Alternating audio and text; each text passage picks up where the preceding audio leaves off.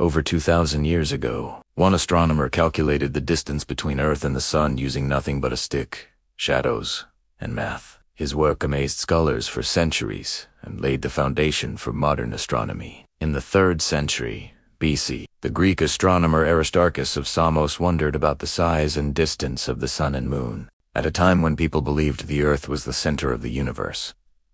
Aristarchus used geometry to estimate the distances of celestial bodies. He observed lunar eclipses and the angles of shadows during the moon's phases. By carefully measuring the length of shadows and using simple trigonometry, he calculated that the sun was much farther away than the moon and significantly larger than Earth. His calculations were not perfectly accurate by today's standards, but they challenged the common belief that Earth was the center of the cosmos. Aristarchus' work inspired later astronomers, including Copernicus and Galileo, to study heliocentrism and understand our place in the universe. Aristarchus' ideas were largely ignored during his lifetime, yet his observations prefigured modern astronomy by over 1,800 years. MORAL Curiosity and careful observation can reveal truths far ahead of your time. Like, share, and subscribe for more inspiring historical stories.